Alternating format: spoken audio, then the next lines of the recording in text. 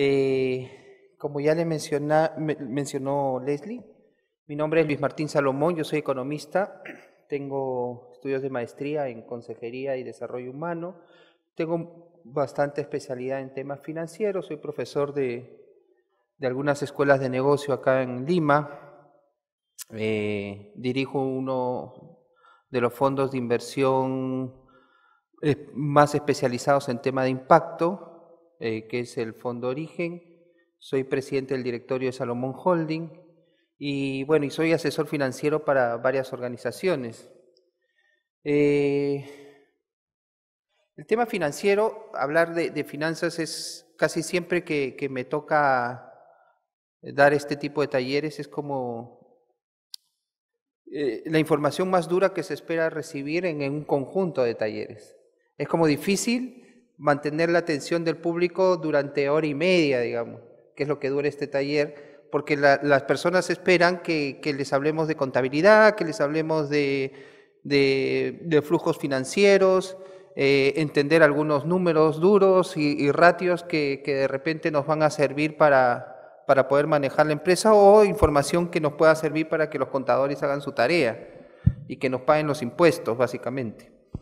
Entonces, e, es un reto tratar de, enmarcar qué es la gestión financiera en una en hora y media y que la gente no se me vaya a dormir y que yo, digamos, me vaya desmotivando cuando vaya comenzando a ver las caras así como medias, ¿no? Entonces, lo que, lo que vamos a hacer ahora precisamente es todo lo contrario. Vamos a entender por qué la gestión financiera es necesaria no solo para pagar impuestos, sino para entender que, es, que, que, las finanzas son un medio para lograr algo, algo importante, algo que queremos desarrollar en la empresa. Las finanzas, digamos, el dinero no, no lo es todo, ni lo más importante, ni siquiera en nuestra vida, digamos. Digamos, siempre el dinero es un medio para lograr algo, digamos, pero es necesario, ¿no? Es uno de los recursos, es una de las cosas importantes que nosotros necesitamos, pero es una de las tantas. Y a veces nos enfocamos mal porque creemos que el único camino para lograr ese recurso es este cuando lo vemos como fin absoluto. Pero cuando nos damos cuenta que es un medio más, tenemos muchos caminos para lograr ese recurso. No sé si me dejo entender. O sea, tenemos muchos caminos para un objetivo final. Uno de, esas, de, de, esos componentes para lograr el objetivo final son las finanzas, son los recursos financieros. Pero para obtener esos recursos financieros también tenemos muchos medios y a veces nos fijamos solo en uno. Por ejemplo, cuando yo les hablo de financiamiento, ¿qué es lo primero que se les viene a la cabeza? Préstamos bancarios, ¿cierto? Entonces desde ahí ya estamos como sesgados, no sé si al éxito o al fracaso, pero ya estamos sesgados hacia un, hacia un objetivo final y nuestro objetivo final se convierte no en lo que queremos lograr con el desarrollo de nuestras actividades empresariales, sino en nuestro objetivo final se convierte en el crédito bancario. Y cuando obtenemos el crédito bancario pareciera que ya hubiésemos exportado, ya hubiésemos vendido y estamos felices, celebramos, ya nos dieron el crédito, yupi, y celebramos y estamos contentos y toda la familia se alegra y qué sé yo. Pero en verdad ese no era el objetivo, el objetivo era otro. Y luego vivimos para pagar los financiamientos al banco, para pagar las cuotas. Entonces nuestro objetivo vuelve a cambiar. Nuestro objetivo ya no es lo que nosotros habíamos planteado como institución o como empresa, sino es lograr las cuotas mensuales. Y nuestro objetivo y nuestro día a día es lograr esa meta mensual. Y conozco muchos empresarios que su vida se les va en cumplir con la cuota mensual del banco y, y, y obviamente desatienden otras actividades y la empresa no crece y cuando ese objetivo no se logra, pareciera que hubiésemos fracasado. Entonces, lo primero que, tenemos que entender, en, digamos, en finanzas internacionales es que hay una diferencia entre lo que es el comercio doméstico y el, y el comercio internacional. ¿no? ¿Cuáles ustedes creen que son esas principales diferencias? ¿Quién, quién, quién me puede decir así? No, no hay un micro móvil, pero creo que se escucha perfecta. Ah, por ahí. Pero no es necesario, o sea, el que crea que están ahí, pero si las pueden explicar, alguien.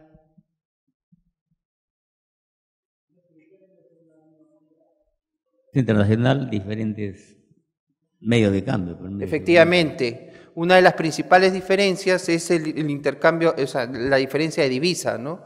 Nosotros tenemos que tener en cuenta que compramos en una moneda, vendemos en otra moneda y ahí existen eh, riesgos asociados a, esa, a esas compra y venta de divisas, que son los riesgos cambiarios, ¿no? los riesgos de tipo de cambio. ¿Qué más?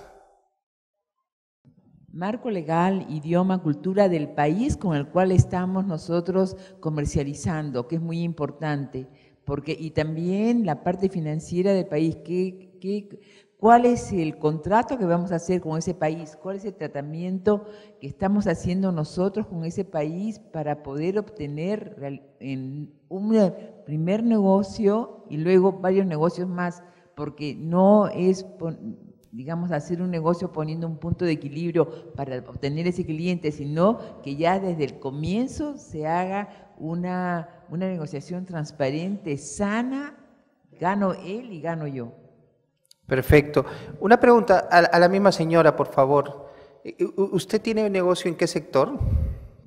Bueno, nosotros estamos en el sector de granos andinos, en el sector de minerales, o sea, de que eh, tenemos muchas clases de em, transacciones a nivel internacional que acá en el Perú lamentablemente no se da, pero que pero en el nivel de granos andinos estamos nosotros haciéndolo en forma muy lenta porque no es nuestro rubro, pero sí que, quisiéramos entrar en forma mucho más definida. Vemos los problemas, los fracasos que hay eh, en, digamos, a presentar el producto peruano, pero nosotros estamos ofreciendo también muchas ventajas. O sea que estamos ¿Y hacia, qué países se orientan ustedes? Bueno, nos estamos orientando mucho a Asia y queremos también entrar en África, porque África, digamos, para em, Latinoamérica, sobre todo para el Perú, es... Eh, eh, prácticamente es un campo minado porque hay muchos países que hay donde hay riesgo financiero pero, pero también hay otros países donde también podríamos entrar.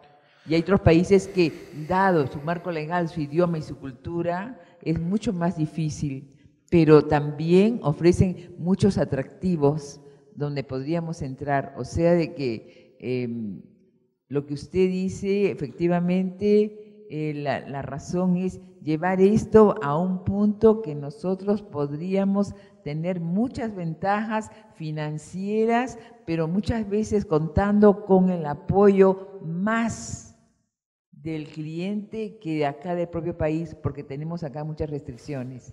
Entonces, con el ejemplo de la señora podemos darnos cuenta de, algo bien importante. Tiene que, haber, tiene que haber ya un precedente, como le dije yo, minerales, o sea que ellos ya nos conocen y podríamos entrar ya en otros rubros, pero contando ya con parte del financiamiento de ellos para entrar en otros rubros que ellos también saben que el producto peruano también es accesible, pero, pero tiene que, tiene que digamos, eh, allá mismo tienen que iniciarse muchas eh, eh, indagaciones con otros países. Estamos en África. Claro, sí, efectivamente. Y muchas gracias.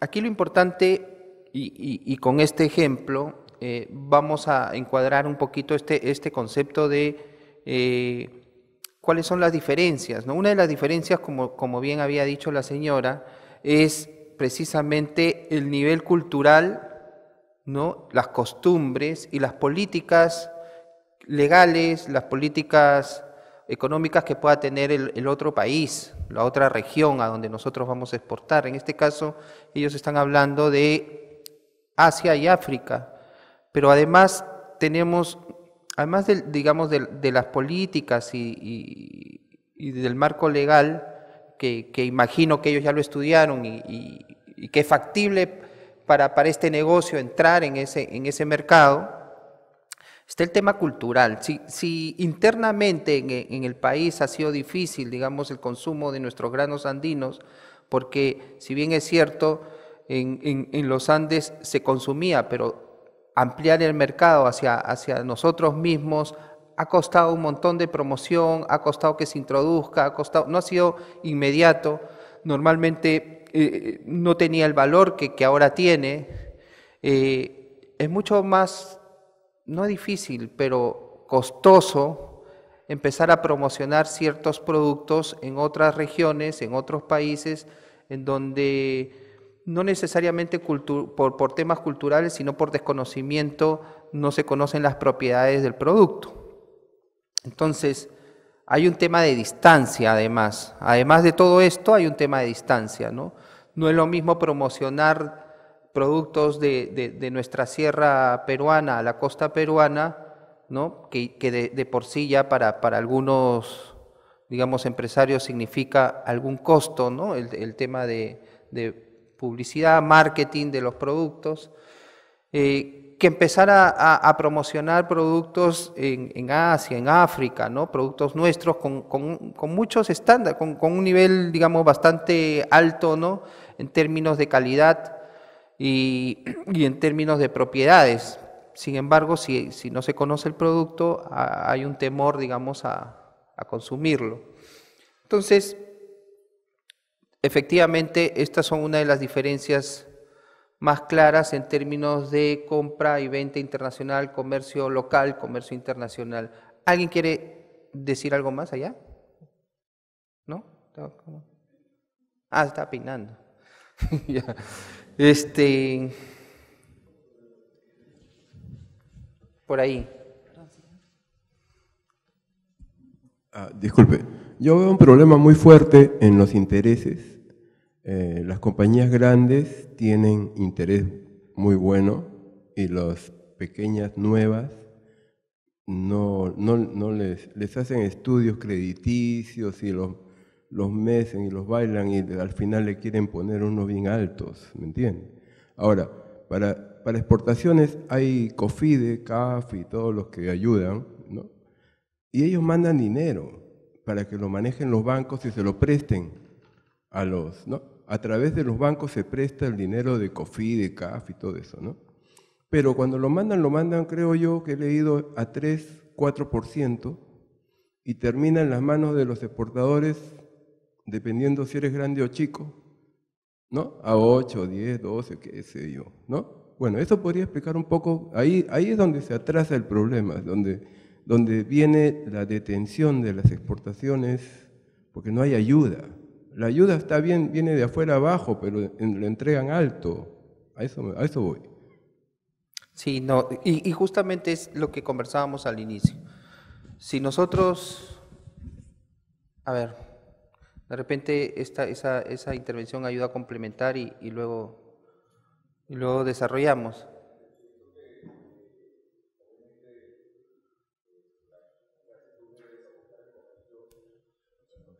Para desarrollar el comercio aquí de tus productos o, visualizarlo en exterior, este, en este caso, pues, tomando en cuenta lo que dice el señor, eh, la banca, tú acabas de decir que, bueno, que hay facilidades de crédito o hay posibilidades, pero a veces este, ese impulso tiene que venir un poco más, eh, más blando de parte de la banca para los pequeños y medianos productores porque luchar contra los gigantes que ya tienen el, músculo financiero, eh, es más, eh, eh, la, pelea es desigual, ¿no? Entonces, ¿qué pasa? Que veo aquí en, este, en este nicho interesantísimo, bueno, por mi acento ya sabes que vengo de, afuera, este, me tiene impresionado esto, este nicho que hay aquí, y, buscan es exteriorizar sus productos porque es el único modo de conseguir financiamiento en, en divisa fuerte, pues, ¿no?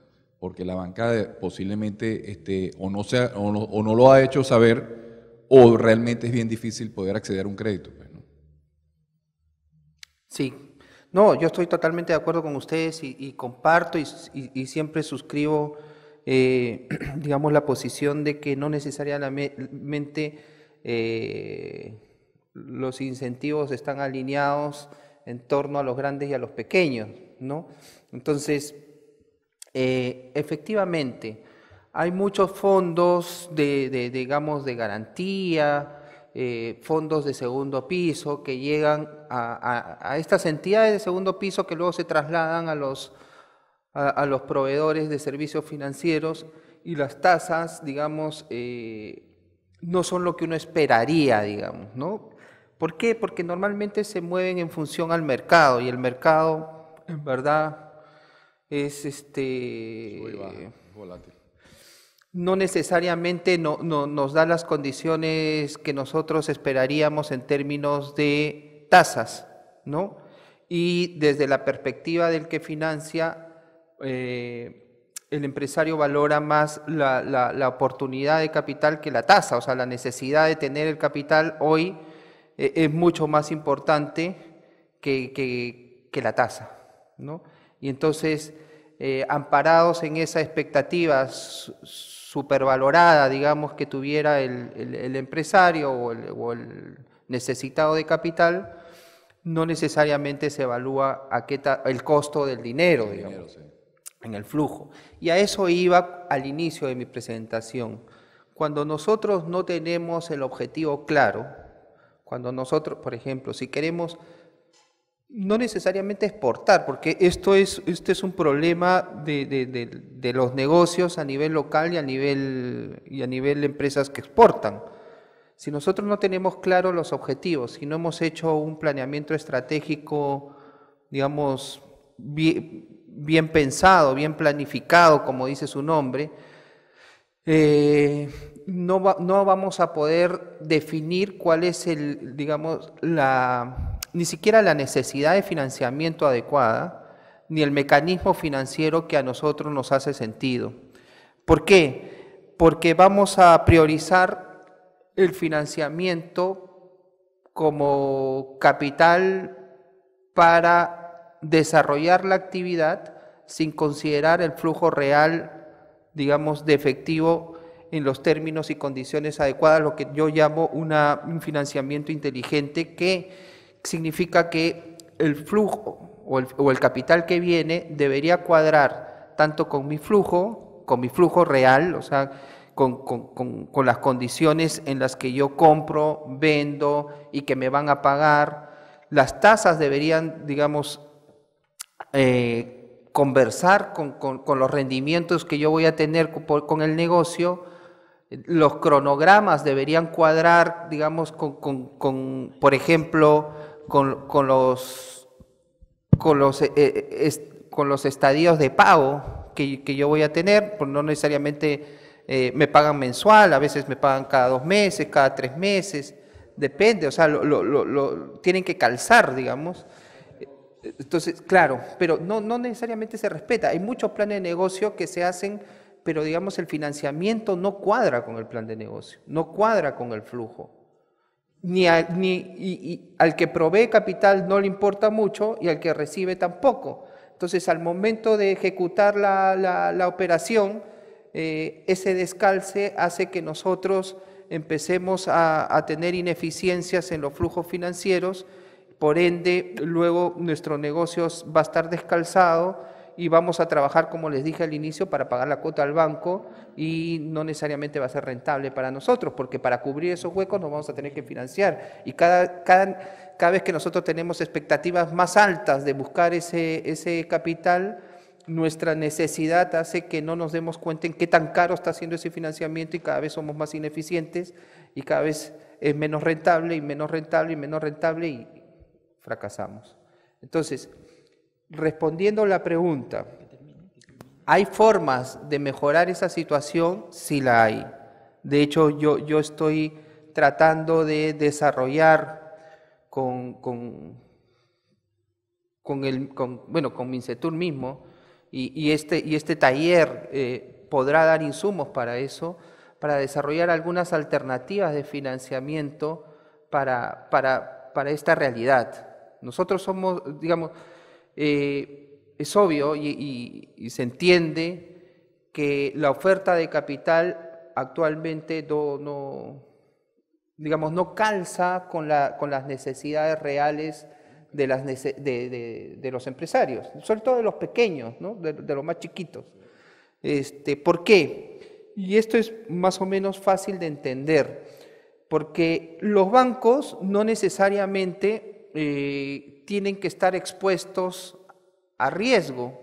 Acuérdense que los bancos, eh, primero que tienen una legislación y, tienen una, digamos, eh, una regulación que no les permite exponerse a riesgo, pero básicamente porque el banco trabaja con dinero de ahorristas.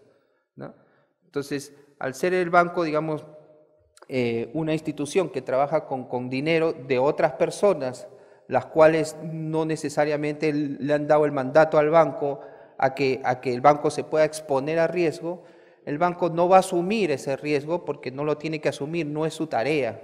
Su tarea es trabajar con el dinero de ahorristas, exponerlos a un, a un riesgo adecuado, digamos, de nivel medio, de lo que permite la ley, digamos, eh, exponer ese riesgo.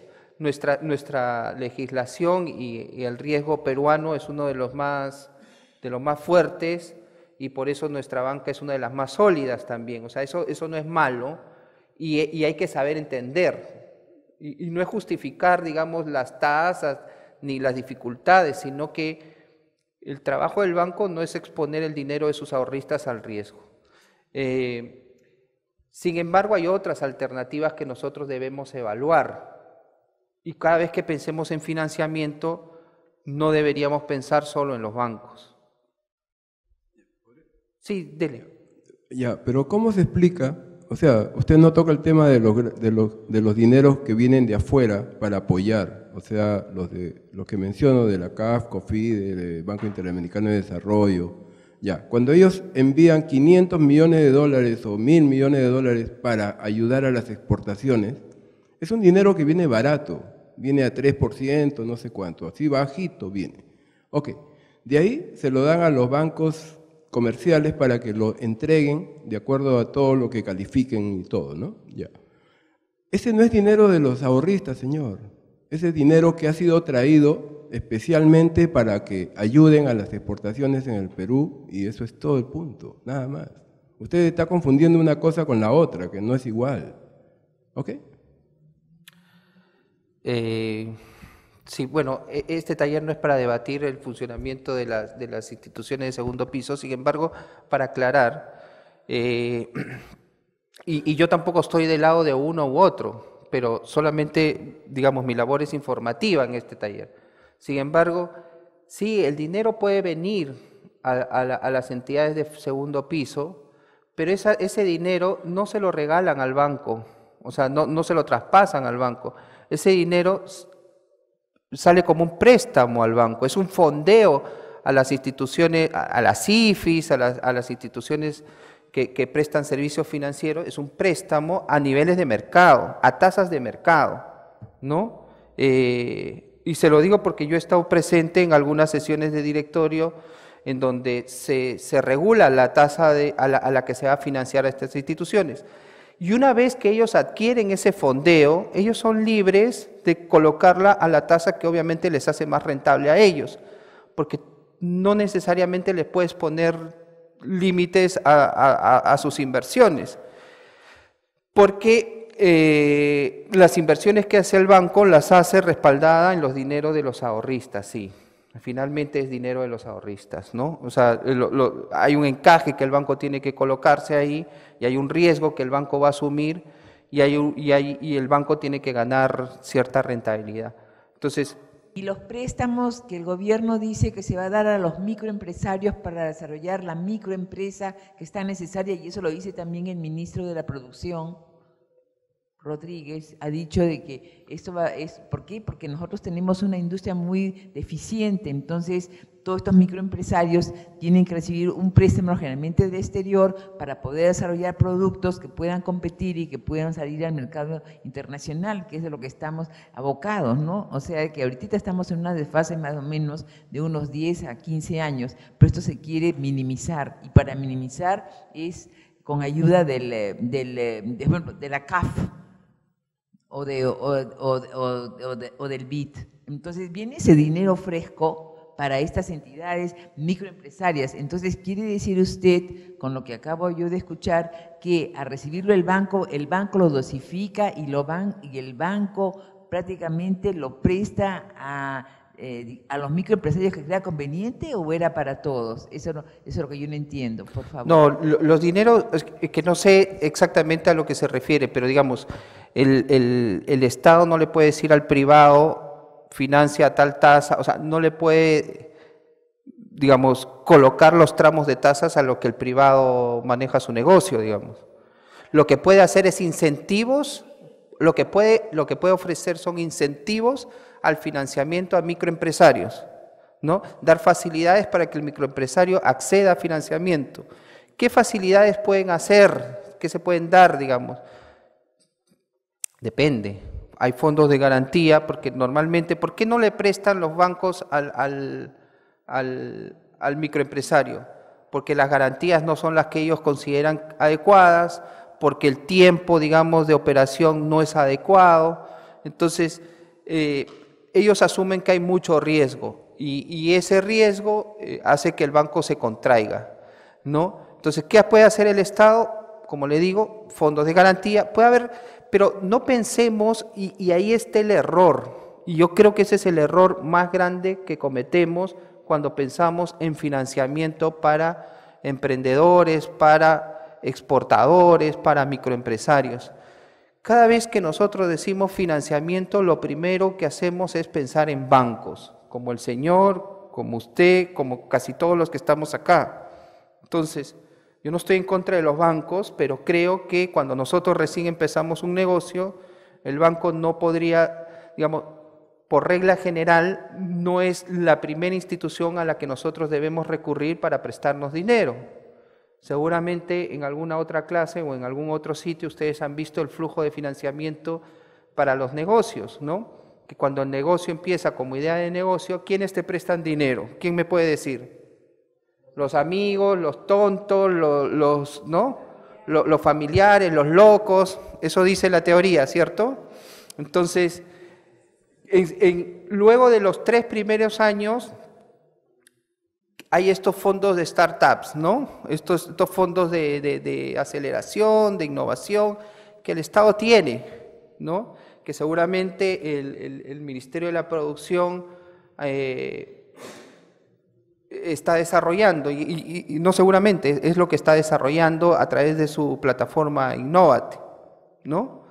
Eh, y seguramente es lo que usted escuchó, no, no lo sé, Después de que el negocio ya está consolidado, que más o menos, ¿quién me puede decir cuánto es el tiempo de consolidación de un negocio en donde nosotros hemos pasado lo que la teoría llama la...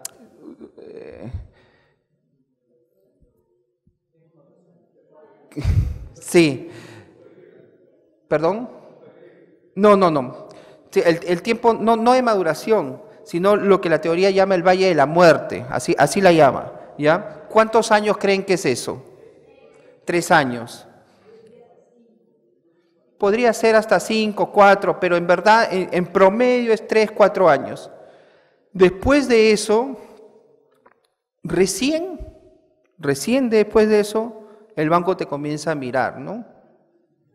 Te comienza a ver y dice, ah, bueno, este, ¿me, entiende? Entonces, ¿qué hacemos esos cuatro o cinco primeros años. Hay muchos instrumentos de financiamiento acá en el Perú, al menos que nosotros conozcamos para financiar a la pequeña empresa o lo que fuese. Sí. A ver. Sí, dígame. Atrás. Bueno, eh, yo he visto, por ejemplo, en la, una financiera compartamos que hacen créditos grupales, pero a 12 personas, ¿ya? Que prestan y cada uno va este, pagando la cuota, o sea, de los 12, ¿no? Cada uno va pagando una cuota, un mes, un mes, y así se financia, bueno, el negocio o, la, o el emprendimiento que tengan esas 12 personas. ¿Ya? E, eso he visto en, en, eh, los que están iniciando. Es un, me, es un mecanismo, a mí me pareció interesante que lo, lo vi, traté de poder este, financiarme yo, ¿no? Pero ¿Cómo, me, ¿Cómo, funciona? A ver, ¿cómo, cómo? O sea, te, te juntas con 12 personas, ¿ya? Esa es, la, es, esa es, la idea de lo que me han dicho. Te juntas con 12 personas y ellos, no sé cómo lo valorarán, la cosa que le dan préstamo a ese grupo. ¿Ya? Y mensualmente tienen que dar una cuota, pero todas, o sea, por ejemplo, como si fuera una junta, algo así. Sí. Pero algo más. Eso, eso se llama Créditos solidarios, Sí, ¿ya? algo así. Financiamientos solidarios. Pero te tienes que juntar, o sea... Se con- tiene que juntar, ¿por qué? Porque el riesgo, ahí el riesgo lo asume, eh, el compromiso lo asumen entre varias personas. Entonces, eh, es posible que, digamos, para la institución financiera y no necesariamente el banco, o sea, aquí ya estamos hablando de otras instituciones que no necesariamente son bancos, ¿cierto? Bueno, sí, eh, yo le pregunté y me dijo que sí estaba respaldado por la CBS. No, sí, pero no necesariamente son bancos. Estamos hablando ya de, de otro tipo de instituciones. Por ejemplo, algo que a, que a mí me, me- me tocó, no es un tema, digamos, que ahora, no es el tema que estamos discutiendo hoy, que es exportaciones, propiamente dicho, más bien era un tema de importación para una necesidad real. ¿Qué pasaba? Que en el norte del país eh, a nosotros no- nos llamaron porque había una comunidad que, que no tenía luz eléctrica y que era como un asentamiento humano en medio de, de prácticamente un, un terreno bastante desértico. Y, los niños estaban enfermando porque tenían eh, problemas con, con el querosene, porque ellos se, alumbraban con querosene y tenían muchos problemas de, de- visión. Y, y algunas de sus, de sus viviendas que eran de esteras se incendiaban también cuando al, al primer descuido por las velas, por el querosene. Entonces había mucho, mucho problema en el sentido de energía, ¿no? Entonces nos preguntaron qué podíamos hacer. Yo trabajaba para, para una institución que, que creaba fondos de inversión de impacto, era privado. Entonces nosotros fuimos a la zona y vimos que era gente bastante pobre, muy, muy, muy, con muy bajos recursos, que en promedio, digamos, tenían ingresos entre 3 soles y 4 soles, estamos hablando del año 2010, 2011, por ahí. Entonces era gente que, que- se dedicaba a la venta ambulatoria de golosinas, de, no sé, de alguna cuestión para comer, pero que era gente bastante, bastante de muy pocos recursos, que invertía más o menos 50 céntimos, 80 céntimos en, en algún tipo de combustible para iluminarse en, en la noche. Entonces, pero, pero lo que estas personas tenían en abundancia era sol, o sea, sol todo el año y mucho sol. Entonces, pensar en, algún sistema de, de aprovechamiento de energía limpia, de energía solar, para que ellos se puedan iluminar al menos, era, era bastante factible. El tema que esa tecnología en aquella época no, digamos, no era abundante acá en el Perú, traerla costaba más o menos, y ponerla a disposición de ellos también era como medio complicado, digamos. Entonces, ¿por qué? Porque ¿cómo evaluábamos los financiamientos de esas personas que ganaban tan poquito? ¿no? ¿Cuál era el riesgo que nosotros podíamos tener en financiar a estas personas algún sistemita, por más barato que sea? Entonces pudimos contactar con una, con una institución que importaba esto. Estos, eran unas lamparitas que no eran más grandes que esto, unas lamparitas así chiquititas, igualito que esto que más o menos costaban 120 soles, creo, a- a- puesto al, al- al público final. Eh, en aquel tiempo, ahora puede estar mucho más barato. Pero, digamos, costaba 120, eh, nosotros hicimos todos los análisis de costo y con 120 soles había una buena, buena, digamos, una buena rentabilidad para el fondo. Creamos un fondo con plata de privados, gente que tenía ciertos excedentes y que priorizaba, digamos, no solo la rentabilidad económica, sino un poquito la rentabilidad social y el impacto ambiental. Y era, y era gente que no eran bancos, eran gente privada, ¿no?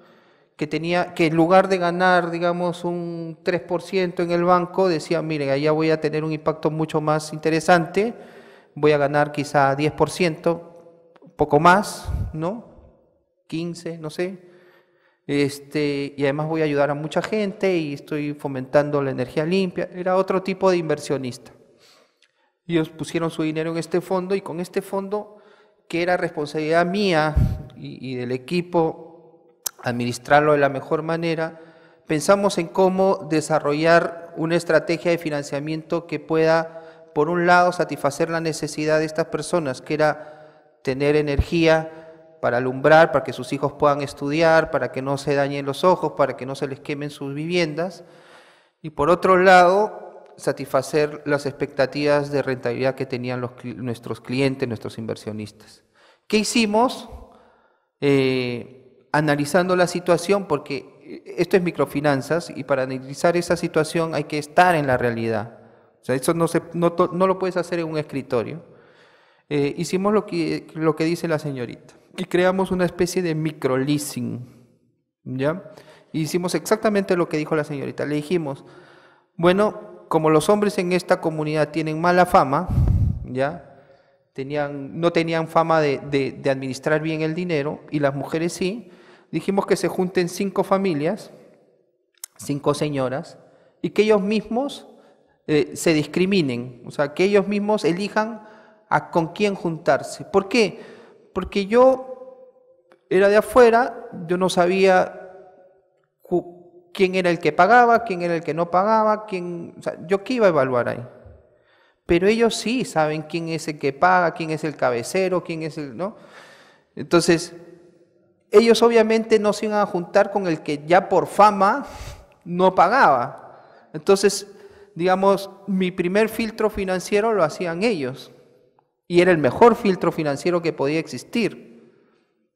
Porque era lo que ellos habían vivido durante toda su experiencia comunitaria. Entonces, eso era infalible. Entonces se juntaron entre cinco, cada cinco familias, cinco mujeres, y yo les dije, les voy a entregar una lamparita a cada una, pero esto es un leasing, ¿no? Este es un préstamo, o sea, nosotros les damos la lámpara, pero la lámpara es de ustedes cuando me la terminen de pagar. La cuota va a ser una cuota semanal de lo que ustedes más o menos gastan en un paquete de velas diarios. Y va a ser semanal. Entonces, no es que ustedes tengan que ir todos los días a abonarme, sino vamos a nombrar una coordinadora de cada grupito, porque yo no podía tener, imagínense si, mi, si, si sentaba a alguien para ver mil depósitos de tres soles, ¿no? Entonces, por cada grupo los juntaba, había una coordinadora, juntaban la plata y yo ya sabía cuántos depósitos exactos tenía que tener, ¿no? Y les daba un código y como ahora hay agentes de todos los bancos por todos lados, era fácil, digamos, que ellos no tengan que irse, o sea, en la bodega que estaba más cerca, ahí me hacían el depósito. Y eran dineros bien poquitos, digamos, pero como era por volumen, se ganaba era, atractivo, digamos, la rentabilidad para, para, el inversionista y era bastante beneficioso para ellos. ¿Qué pasaba si no pagaban, digamos? Si una no pagaba, lo que yo les decía es que las otras personas pagaban la cuota de esa persona que no pagaba hasta que me devuelvan la lamparita. Entonces yo no necesitaba un, un departamento de cobranzas, porque las otras cuatro tengan por seguro que se le ingeniaban y me devolvía la lamparita como sea, ¿no? ¿Perdón?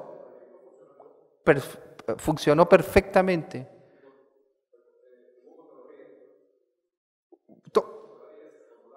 se controló todo y, todo fue bueno, o sea, y funcionó bien. Sí, claro que sí, salvo que allá hubo, hubo un riesgo que nosotros no, no pudimos medir y, y fue que alguna autoridad les prometió, porque fue campaña electoral, creo, les prometió que les iba a poner postes eléctricos y qué sé yo, en una zona que era inundable, ¿no?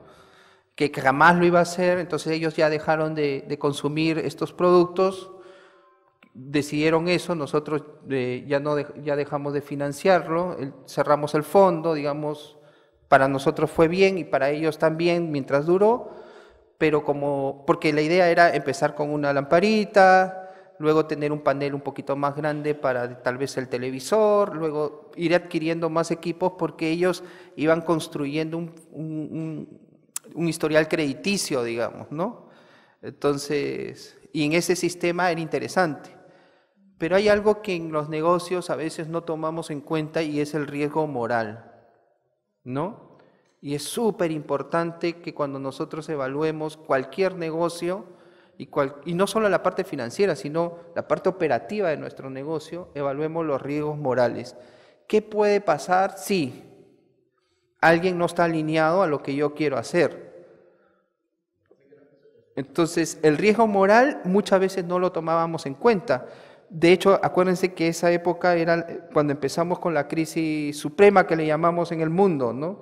Que básicamente se basó en eso, en la ambición y empezar a crear, digamos, mecanismos de financiamiento basados en burbujas. Entonces, el riesgo moral es uno de los riesgos que antes no se podía medir y antes no se consideraba, pero ahora sí. Ahora sí se debe y se tiene que. Digamos, nosotros no consideramos ese riesgo. Que no nos afectó porque de alguna manera estuvo, ya, nosotros estábamos cubiertos, pero sí afectó a la población, porque ese señor que ofreció todo eso jamás lo pudo hacer. Ganó las elecciones quizá, pero no lo pudo hacer, ¿no? Porque, porque en ese terreno era imposible que alguien pueda vivir. Digamos, eh, al menos no como él, él decía que iban a vivir. Bueno, con el, eh, el ejemplo que usted nos ha dado, yo quería saber si hay esos mecanismos, pero para más pequeños eh, empre- microempresarios, por ejemplo, asociación de mototaxistas, ¿no? Se juntan 12 mototaxistas y este motos y, eh, que, y quieren acceder a un mecanismo así como ese crédito solidario, porque mayormente ese crédito solidario lo dan para mujeres, ¿no? Por No- necesariamente. Mm, Digamos, bueno, esto, es lo que yo he visto, lo que yo conozco, por Claro. eso que le hago esa pregunta. De repente podría haber, no sé, eh, de repente las emolienteras de un grupo de cinco de una zona, ¿no? Se juntan y quieren este, conseguir, un, no sé, algo más adicional, más tecnología, qué sé yo, de eso, esto, ¿no? Y se quieren juntar, ¿no? Quiero saber si hay ese tipo de mecanismos eh, en COFIDE o en alguna otra asociación de banca privada. Mira, la banca no puede asumir ese tipo de riesgos, por lo que ya les acabo de explicar, ¿no? Eh, no, no, no es su labor, digamos. Hay instituciones que lo hacen sí. ¿Por qué mujeres? Porque así empezó. En la- esto empezó en la India bajo ese formato, ¿no? El Grameen Bank que se llamaba. Ustedes deben, deben, entonces algunos habrán escuchado, pero digamos, ¿y por qué con mujeres? Porque los hombres tenemos lamentablemente mala fama en administración de, de dineros, ¿ya?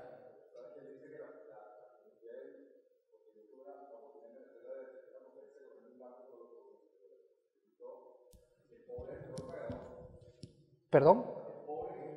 Claro, claro, claro. ¿Por qué? ¿Y por qué ustedes creen que el pobre es mejor pagador?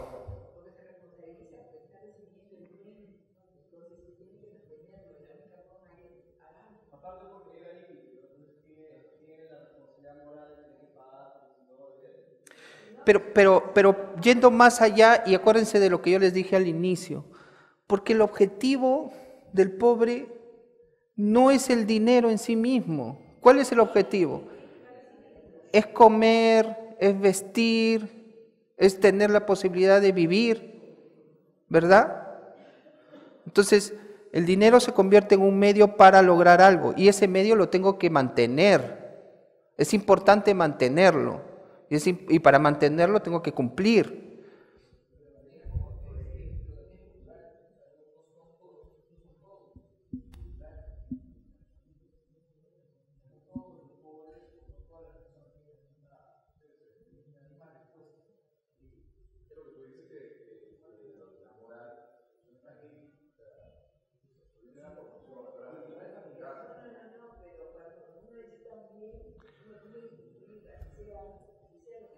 ¿Y por qué no pagamos a veces los, créditos o lo que fuese? Ah, Porque, porque a veces, porque no nos da la gana de pagarlo y porque queremos darle la espaldas al que nos prestó. No necesariamente, ¿no? Ha- ha- Hay, digamos, cuando yo he hecho y me ha, me ha tocado hacer algunos, algunas estructuraciones de, fondos de inversiones de impacto, que ojo, no son bancos. Un fondo de inversión puede asumir cualquier otro riesgo, el riesgo que el inversionista quiera asumir. Entonces, eh, los fondos que- que he creado tenían una característica principal que era que no excluían a las personas que estaban en los sistemas de riesgo. Porque quizá el que se había equivocado una vez ya tenía la experiencia para no equivocarse dos veces, pero quizá, porque también había un riesgo, ¿no? Pero no lo puedes excluir, porque no necesariamente tú caes en desgracia porque no quieres pagar, digamos. Tú caes en, en, desgracia, por así decirlo, ¿no? Eh, tú caes en esa situación de, de- de no pago porque hay otros acontecimientos que lamentablemente el sistema no valora y no mira al momento de financiarte. Entonces, ¿qué me pasaba, por ejemplo, cuando yo financié alguna vez productores agrícolas? Normalmente las cajas y, y los sistemas de, de financiamiento tradicional, ¿no? cuando iban a financiar al productor agrícola, decían, ¿cuánto es tu cosecha? ¿Cuánto ganas? Mira el flujo básico, entonces yo te puedo financiar tanto. Y no consideraban que en el campo, digamos, eh, el jefe de familia, por así decirlo, es el que la- labra el campo, el que cosecha, el que hace todo, ¿no? Y, y a veces los hijos también lo ayudan, ¿no? Pero que hay otros gastos en la familia, que por ejemplo, si el tipo cuando estaba labrando se da pues un golpe y se accidenta y se rompe la pierna o la mano, lo que fuese, ahí quedó la producción, ¿no? ¿Hay algún seguro que, que cubra eso? Al menos esa época, ahora sí, pero en esa época había, ¿alguien lo consideraba al momento de financiar? No. ¿Consideraban, por ejemplo, que, que- estas personas no necesariamente guardan un segurito para salud? Y pónganse en el caso, o sea, si yo tengo a mi esposa que está enferma o un hijo mío que está enfermo, pero tengo 300 soles para echarle abono a la planta, ¿qué voy a hacer? Es obvio. O sea, y, y obviamente ese dinero lo voy a, lo voy a usar para, para dárselo a mi esposa o a mis hijos y después voy a tener el tremendo problema porque la planta no va a producir lo que tenía que producir y voy a dejar de pagarle al banco lo que, lo que el banco o la institución o quien, o quien me haya prestado me, me financió. Entonces, ¿cuál es el problema aquí? Que cuando nosotros financiamos o nos financiamos, no miramos todo el panorama, todo el objetivo. Y ahí empiezan los problemas, porque queremos hacernos los ciegos. O sea, y esto pasa cuando nosotros pedimos un financiamiento o cuando me han pedido financiamiento, ¿cuánto necesitas? Mil. Si yo veo, hago el análisis, junto todos estos componentes que, estamos hablando ahora y veo que solamente necesita 500. ¿Por qué me has pedido mil si solamente es 500? No, lo que pasa es que cuando yo pido mil, siempre me dan la mitad. ¿No? Entonces, entonces, es verdad, es verdad. ¿Por qué? Porque no, no estamos mirando el panorama, no somos honestos ni de un lado ni del otro lado. Eh, per- permítame. Eh, buenos días, entre todo. Buenos días. sumamente interesante lo que usted está explicando. Eh, claro, no somos honestos ni de uno ni otro. Y quisiera hacer una pequeña reflexión. Lo que usted está diciendo, eh, sea por coincidencia o no, lo vengo escuchando hace 20 años cuando Hillary Clinton hablaba de que los pobres eran buenos pagadores y se aliaba con el JP Morgan, con los bancos de inversión y extendían un brazo social en los países emergentes. Y también el modelo Yunus de la India, que es lo que precisamente habla usted con, con el formato de créditos solidarios, eh, dio una, una lección, lo que usted está señalando. Yunus decía, el, en realidad la gente hace préstamos, pero encuentra en el dinero un medio de vida, porque si no paga, se complica la vida. Sin embargo, cuando estalló la crisis financiera internacional en el año 2008, eh, salió al descubierto algo que no quieren reconocer eh, los segmentos más altos financieramente hablando, que los pobres tienen creatividad, tienen ideas creativas y lamentablemente no han sido tomados en cuenta porque son unos tromes para hacer proyectos. Lo único que les falta es financiamiento. Entonces, cuando yo estoy aquí sentado y lo escucho, los bancos acá en el Perú no se ocupan de ese segmento porque no hay facilidades y si las hay son poquísimas, entonces, ¿dónde está ese acuerdo internacional que se dio hace cinco o siete años entre el Fondo Monetario Internacional y el Banco Mundial? Señores, la forma como hemos conducido la economía ha sido errática. Hemos debido dar oportunidad a los pobres, ellos tienen ideas, replanteemos la cosa. Y ahí apareció lo que conoce la Asociación de Bancos, la inclusión financiera. Y la inclusión financiera es eso, o sea, ¿por qué no le das a los pobres más dinero? Capacítalo previamente y no está pues con una mano extendida y hace una vida más digna. Entonces yo quiero este, reflexionar, solamente quería, quería este, transmitirle... Muchísimas gracias, efectivamente. Ha sido como un encuadre de, todo lo que hemos venido hablando, ¿no? Y, y sí, e, es la inclusión financiera eh, eh, es la tendencia, digamos. Pero ¿qué se necesita para inclusión financiera? De hecho, yo he hecho algunos trabajos el año pasado con algunas instituciones que tienen que ver con esto. Y había dos temas importantes cuando tú quieres trabajar estos, estos temas. Primero, capacitación. ¿Quién asume el costo de capacitación? ¿Lo asume el banco? ¿Lo va a asumir el banco? Si lo asume, te va a subir la tasa, ¿no? Eh, y otra vez volvemos a pensar, ¿es un banco que me debe financiar esto? O sea, en este caso Asbank sí lo, lo, está trabajando, pero ¿quién debe, digamos, fomentar la capacitación? Hay muchos, muchos, hace como más de 20, más 30 años, programas de desarrollo de, gestión empresarial. Millones de millones de dólares se han gastado en programas de, gestión empresarial que no necesariamente estaban unidos, o sea, que se hacía gestión empresarial, se les hacía el plan de negocio, se terminaba todo el plan de negocio y decían muy bien acá, te graduabas con tu plan de negocio y después a ver qué haces con eso. Y quedaban de pisapapel, ¿no? Porque eran bonitos documentos gruesos, ¿no? Entonces, este, yo creo que los programas de capacitación de gestión empresarial deben estar acompañados de un programa de estructuración financiera, o sea, que acompañen el financiamiento, pero eh, no debería terminar y no debería ser el, objetivo final el financiamiento en sí, sino el desarrollo productivo de ese negocio, la venta, la primera o segunda venta. Entonces, cuando a mí me han pedido hacer me, piden que repita la pregunta. No, yo no estoy en contra de los, de los, de los bancos, soy pro mercado, este, defiendo la iniciativa privada eh, y, siempre he vivido eso. El, el, tema es que el modelo, de, el modelo de negocio es el que está fallando, porque mire usted, eh, hay más o menos unos 150 mil millones de dólares en los conos de Lima según eh, eran 90 mil cuando Hernando de Soto escribió su libro, hizo un, o sea, hay mucha gente que tiene plata bajo el colchón. Entonces, con ese potencial este, se pudo hacer un proyecto gigantesco, monumental, pero no había capacitación en el pobre. ¿Qué hicieron los bancos?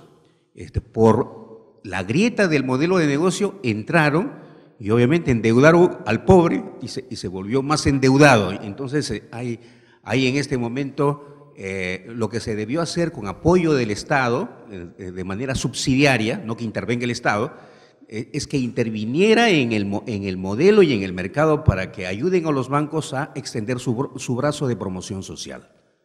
Yo creo que esa es la única manera de salir adelante y recapitalizar ese flujo de dinero que está circulando en la economía informal y que no se puede arrastrar a un modelo este, formal para que crezcan como en Estados Unidos, como en la Unión Europea.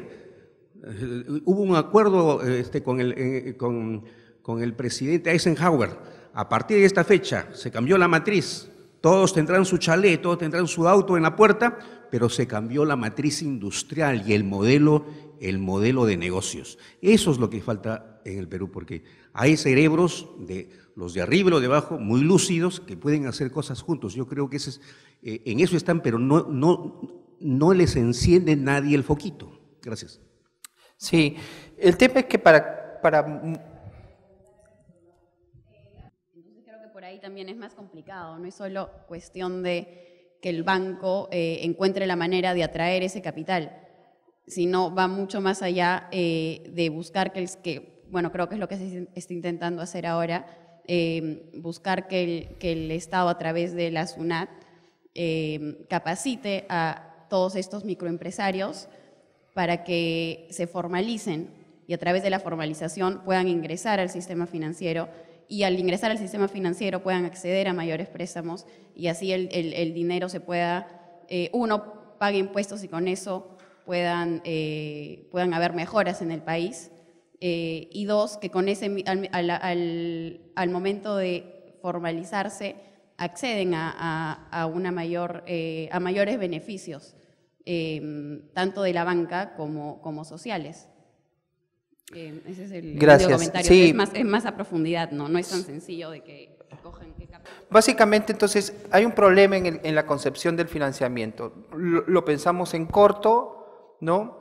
No vemos los objetivos reales a los que queremos llegar. Eh, ese pensamiento en corto hace que nosotros, lo que acaban de comentar las últimas dos personas, eh, los que financiamos, digamos, no consideremos los tres pasos de acompañamiento para el financiamiento, que es el pre, el durante y el post-financiamiento. Normalmente todos los programas, y es a lo que iba, se quedan en el financiamiento. Y nosotros nos quedamos en el financiamiento como empresarios. Obtuvimos el financiamiento, celebramos, destapamos el champán y ahí quedó. Y el que te financió y la ONG o el programa de apoyo del gobierno, lo que fuese, celebra que obtuviste el financiamiento. Y el postfinanciamiento, que es donde empiezan los problemas, porque recibir el dinero a veces no es tan difícil. Lo difícil es operarlo de manera eficiente y digamos, para eso era este taller, ¿no? Para, para saber que eso es necesario en el pre, en el durante y en el post. Y administrarlo de manera eficiente para que ese financiamiento no se convierta en un dolor de cabeza. ¿No? Eh, con el último comentario me viene algo a, la cabeza súper rápido, que cuando nosotros eh, en algún momento me dijeron, bueno, vamos a hacer un pipeline de inversiones porque hay dinero, sí, efectivamente hay, el modelo está cambiando, queremos, eh, se quiere financiar pequeños negocios, asociaciones de negocios, gente que está a veces en la informalidad, pero para lograr mejores mercados tiene que pasar a la formalidad necesariamente. Hay, hay, hay inversionistas dis, dispuestos a, a, financiar eso, pero no hay pipeline de inversiones, no hay propuestas financiables. ¿Por qué? Porque no tenemos una educación, digamos, de gestión y financiera adecuada a presentar buenos, buenas propuestas de financiamiento. Propuestas de financiamiento que, que un inversionista de cualquier parte del mundo la pueda ver y la pueda financiar. Entonces, ¿qué hace falta ahí? Tal vez gestionar algún, algún mercado de asesores de transacción, no lo sé. Es algo que acá en el Perú todavía no se ha explorado. ¿No? Así como hay, hay gente especializada en desarrollar proyectos para acceder a estos financiamientos de startups, gente especializada para acceder a estos concursos, digamos, de fondos no reembolsables, ¿qué tantas personas estarían dispuestas a especializarse en acceder a financiamiento? Pero no ya, porque eso sí existe, pero hay, hay compañías que lo hacen a nivel grande, digamos, a nivel de gran, grandes inversiones pero digamos de inversiones medias, 50 mil, 100 mil dólares, no, no hay mucho mercado para eso aún.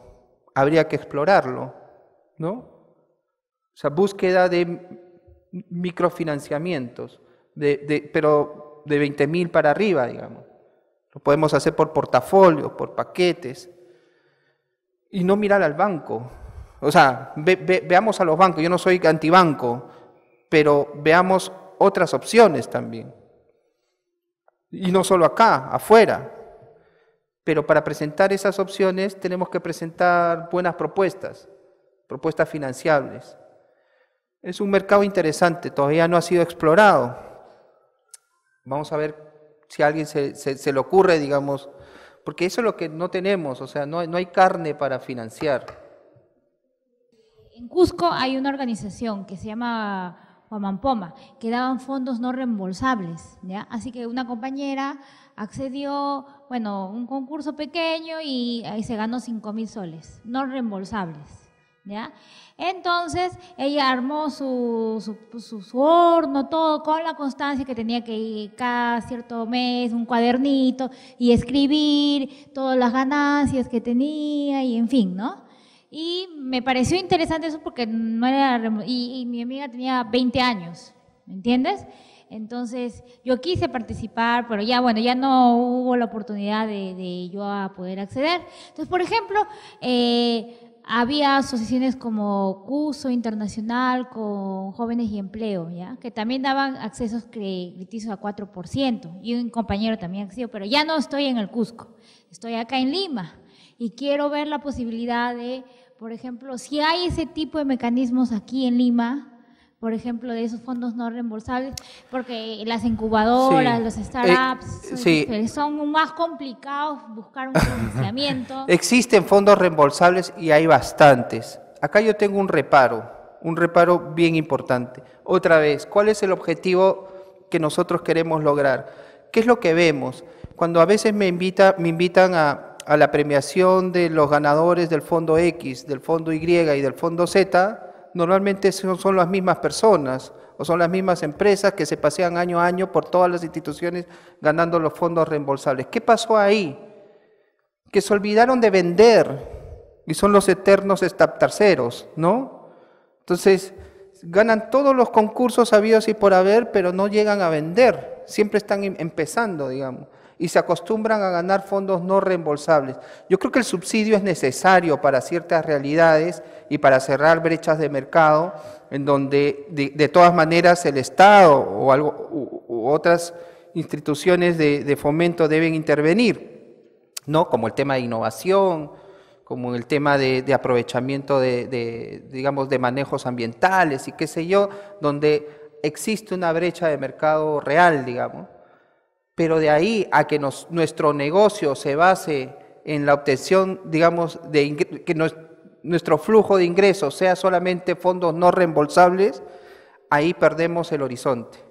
Y eso está pasando. ¿no? Entonces, al inicio nosotros, nosotros debemos mirar estos fondos no reembolsables para arrancar, para arrancar. Pero luego ya nuestro negocio no va a crecer si solamente seguimos viendo los subsidios. Pero subsidios hay, y hay bastante, digamos.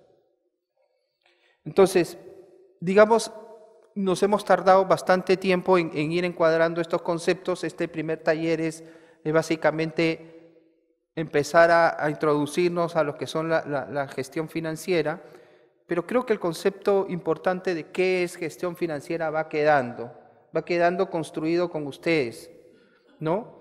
Eh, básicamente el objetivo es optimizar, multiplicar el dinero, ¿ya? Pero eh, lo más importante, como les digo, es tener los objetivos claros. ¿Qué es lo que quiero hacer? ¿No? ¿Cuál es mi objetivo central? ¿Cuál es mi misión como empresa? Obviamente para lograr la misión de la empresa tengo que yo tener una misión como persona. O sea, porque finalmente la- la- las empresas son una extensión de las, de las personas que la conforman. ¿no? Es el modo como vamos a trascender, digamos. Entonces, si no tenemos muy claro eso, difícilmente vamos a saber qué necesitamos para lograr eso. Y si no sabemos qué necesitamos para lograr eso, no vamos a saber cuánto dinero necesitamos para lograr eso. Más o menos todo tiene eh, un sentido, digamos, de proceso. Como les decía, si no estamos conscientes de cuáles son los objetivos, muy difícil es que nosotros vamos a, vayamos a identificar cuál es la mejor estrategia para lograr esos objetivos. Como les digo, esa estrategia para lograr esos objetivos puede venir de diferentes maneras, financiamiento bancario, ustedes me dijeron por ahí, nuestros familiares, fondos no reembolsables, buscar fondos de inversión, buscar inversionistas privados que nos quieran y qué tanto estamos dispuestos a compartir el riesgo. Eh, la mayoría de nuestros negocios en el Perú son negocios familiares. Me atrevería a decir que, más del 95%, ¿no? Y, que, y, y, y culturalmente no estamos dispuestos a compartir el negocio familiar con gente que no conocemos, ¿no?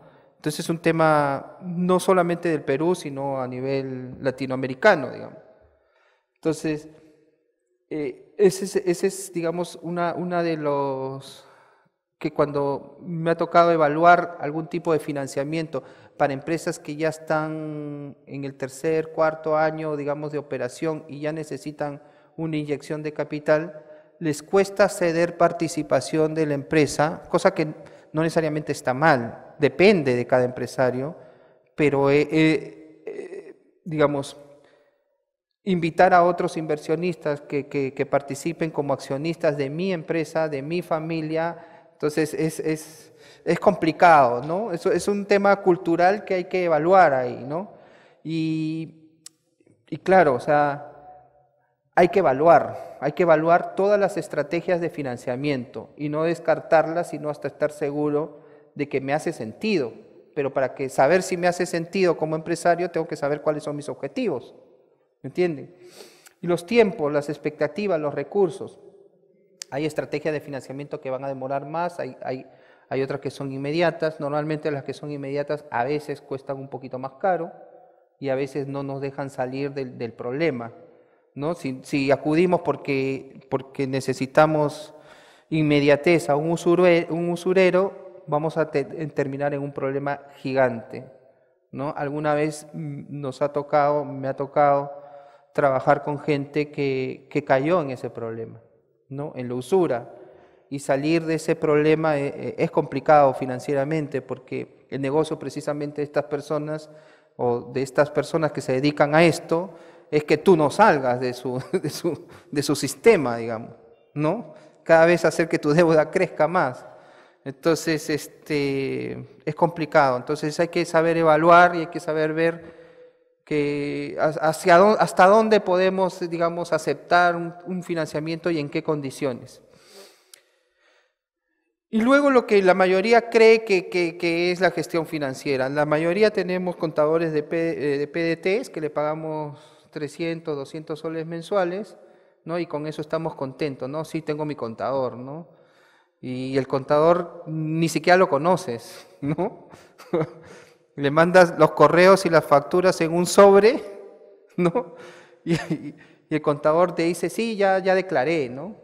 Ya declaré, ya hice esto, no sé qué. Entonces, normalmente creemos que la, que la gestión contable financiera es para pagar impuestos normalmente y la gran mayoría de negocios que me ha tocado asesorar lo utiliza solo para eso. Pero ¿cómo tomamos decisiones con ello? Casi nunca, ¿no? Eh, entonces, los registros y la contabilidad nos debieran servir para poder tomar las mejores decisiones.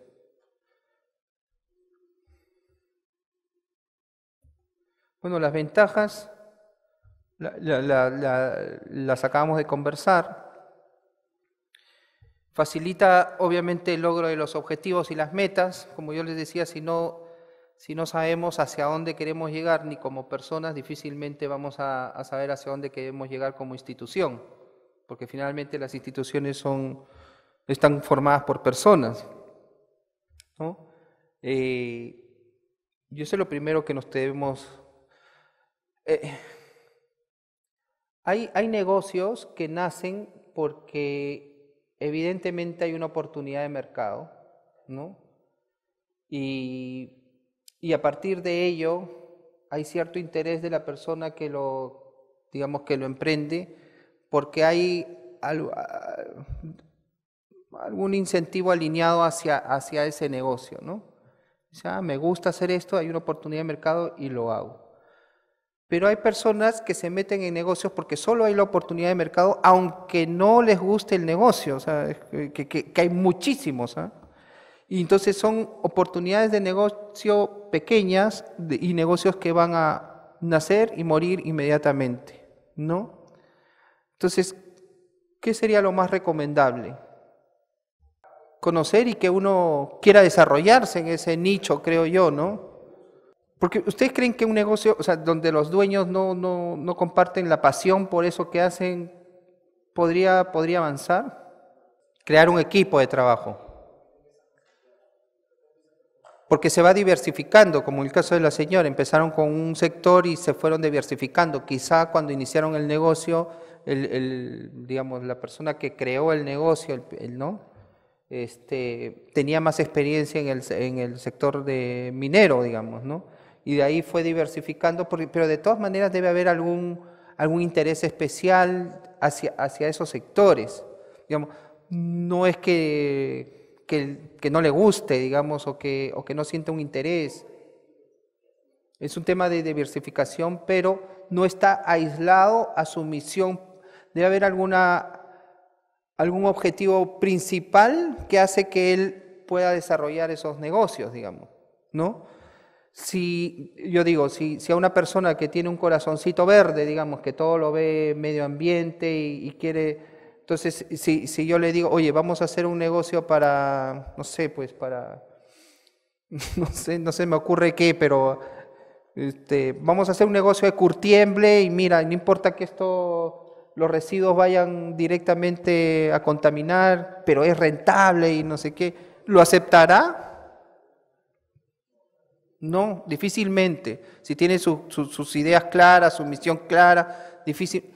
En ese ejemplo extremo deberíamos nosotros reflejarnos. O sea, nuestro negocio refleja realmente lo que nosotros queremos como personas, porque si eso no es así, eh, replanteémoslo también, ¿no?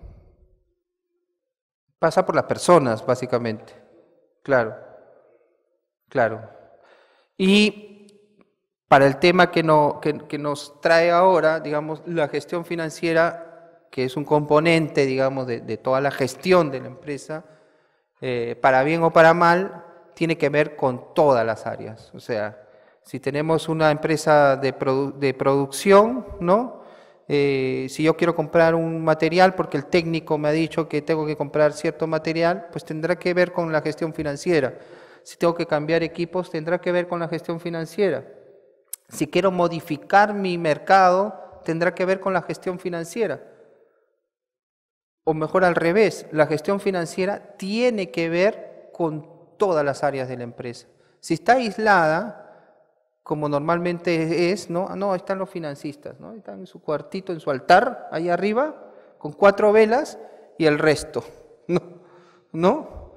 Entonces, si, si ese señor no baja a donde está el resto de las personas, este, difícilmente la empresa va a poder caminar, porque tiene, esa persona tiene que conocer toda la empresa, toda, toda, toda, toda, toda, hasta cuánto se gasta en artículos de limpieza, cuánto se gasta en papel, por qué se gasta tanto, por qué no se gasta tanto, por qué hemos escogido este mercado y por qué no este, por qué este nicho de mercado ahora, ¿no? Eh, Básicamente yo creo que ese es uno, hay otro, digamos, hay otro capítulo más adelante que habla de los errores en la gestión financiera, pero digamos, uno de los errores más, más, más fuertes es eso, porque el gestor financiero o es todista, lo quiere hacer todo él solito y no toma en cuenta, y, es, y, es, y normalmente el gestor financiero en una empresa es el gerente general y es el dueño de la empresa. Entonces las decisiones... Eh, son unipersonales.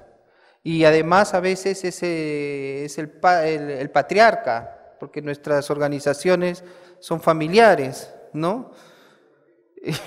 Entonces también hay un tema de buen gobierno, ¿no? Eh, y eso dificulta también el manejo financiero.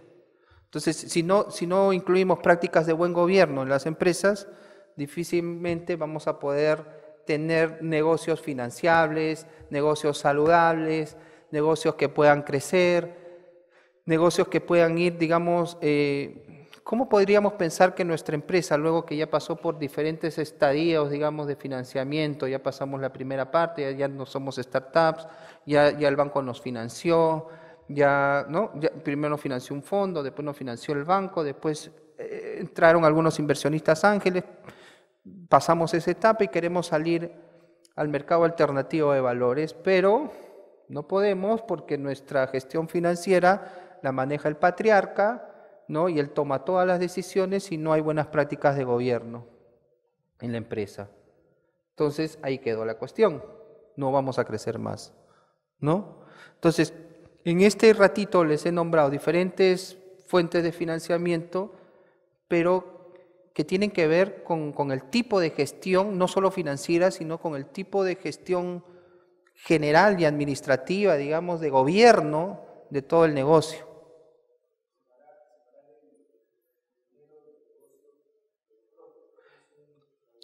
Y separar los intereses personales con los intereses del negocio y los intereses del negocio con los intereses de la familia. O sea, no separarlos directamente, o sea, de hecho tienen que estar alineados, porque si no caeríamos en lo que iniciamos, digamos, eh, lo que comentamos al inicio de, la discusión. Eh, tú tienes que ver todo lo que sucede, ¿no? Pero tomarlos en cuenta, pero diferenciarlo y escribir, estos son mis intereses y estos intereses personales, familiares, los voy a lograr porque tengo una empresa que me va a ayudar a que eso suceda. Pero mi empresa tiene estos objetivos y estos objetivos son los que tengo que cumplir a través de estas actividades. Si no, si, no lo trabajamos, lo vamos a tener todo entreverado y no vamos a saber qué es lo mío, qué es lo de la empresa. Eh, usted está mencionando mecanismos de financiamiento eh, y ha hablado acerca de las startup o las eh, startup, ¿no? Startup. En, el, en el tema del crowdlending, que es... Crowdfunding. Y, y, crowdlending, que es una modalidad más solidaria este, para empresas claro, grandes, claro. y crowdfunding es para micros. hay, un, hay, hay, una, hay un debate en la Comisión de Economía del Congreso de la República que está precisamente habilitando el marco para captar una nueva forma de financiamiento. O sea, el que tiene conocimiento de, de, teléfono, smartphone, puede convertir su teléfono en un banco. Hace un proyecto y pide financiamiento afuera. Entonces, estamos asistiendo a una, a una nueva forma de conseguir dinero, más allá del fondo, del banco, que ahora le del mercado alternativo fintech. de valores. ¿ah? Entonces, ese mecanismo, ese es el que se debe impulsar, porque, porque es atractivo y es dinero más barato, eh, porque es dinero global que llega por Internet. Y se puede hacer negocios por Twitter y por Facebook. Sí, efectivamente, por ejemplo, para el levantamiento de capital eh, hay, hay, ciertos parámetros de regulación que como fondo por ejemplo, si nosotros queremos crear un fondo de inversión, ustedes saben que hay dos modalidades, fondos públicos y privados. Público no significa que venga por parte del sector público, sino que eh, significa que tú puedes hacer, digamos, difusión pública, de manera pública, en medios de comunicación, en diferentes medios, para que los inversionistas puedan ser eh, valga la redundancia, inversionistas en el fondo que, acabas de, que se acaba de crear. Y el privado, que digamos es, son los fondos de inversión donde tú vas y tocas puerta por puerta e invitas a los inversionistas de manera privada uno a uno, ¿no? Y, y normalmente son tus, conocidos, tus allegados. Entonces, esas eran las dos únicas formas de, de, crear estos fondos para financiamiento. Si tú te salías de esto, entonces estabas fuera de la regulación. El crowdfunding estaría más orientado a ser un fondo público, porque tú públicamente tienes que llamar a través de una web, ¿no? Eh, a inversionistas no solo del Perú, sino de todo el mundo, de manera global. Esto no estaba regulado.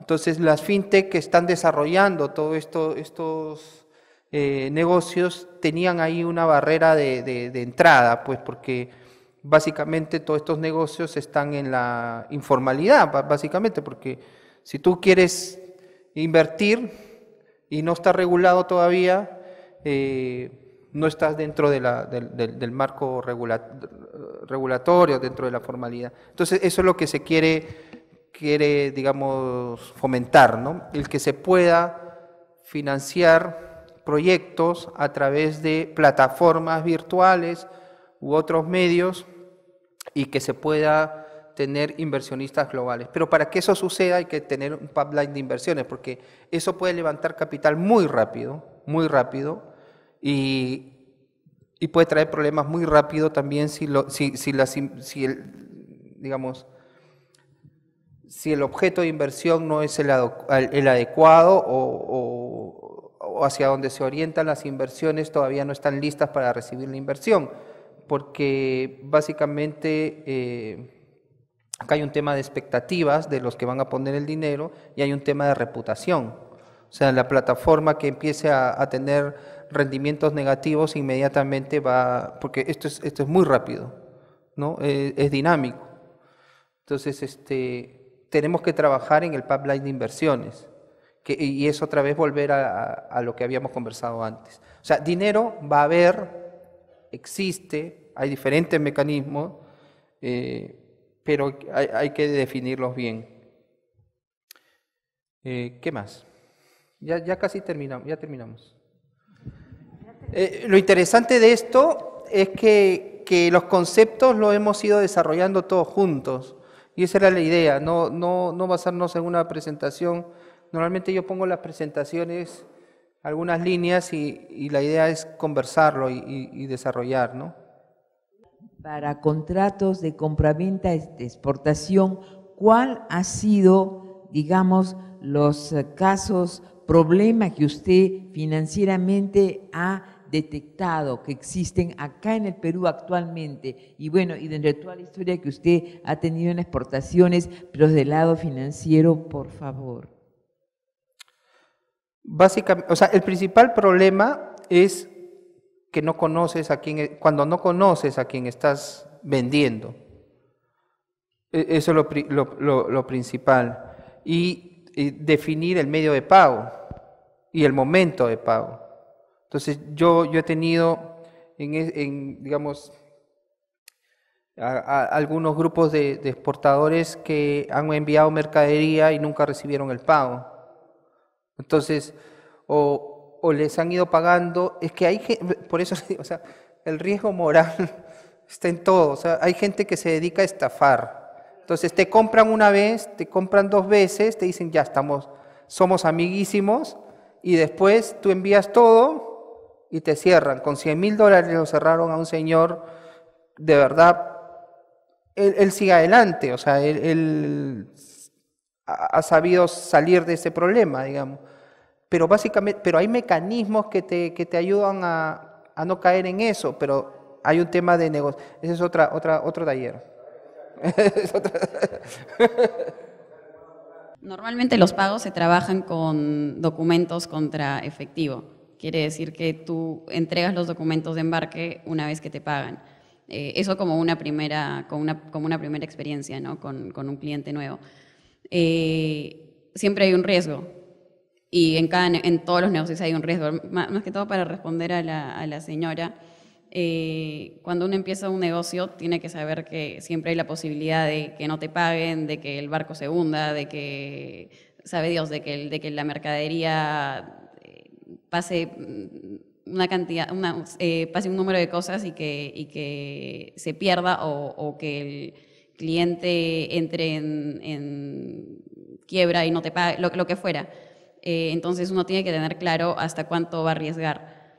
Si eso, el dinero que tiene en esa mercadería lo ha conseguido con, con préstamos y sabe que no lo va a poder pagar, tal vez necesite un riesgo menor eh, tal vez necesite fin, eh, no financiar el 100% y exportar una menor cantidad, no lo sé. Eh, pero bueno, al, al, al, final de cuentas sí hay una, una serie de mecanismos para proteger la, la, mercadería que uno está mandando. La carta de crédito es una, pero sí es verdad que muchos clientes en el exterior no quieren trabajar con cartas de crédito porque es una herramienta cara.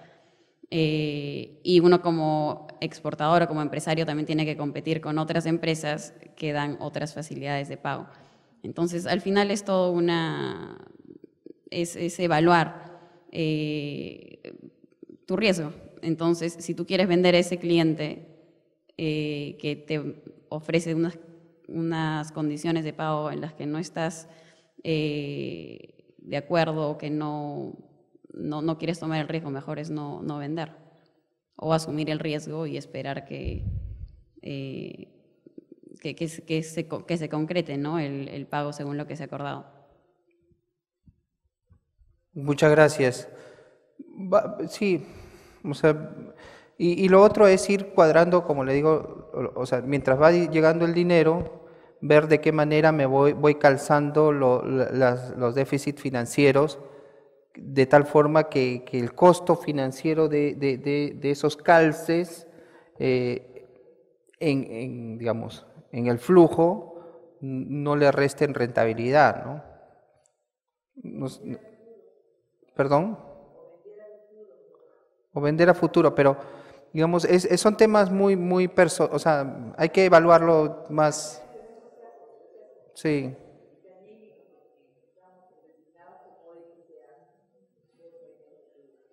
Claro. O sea, si, si, si se puede prepactar, excelente, ¿no? Muchísimas gracias.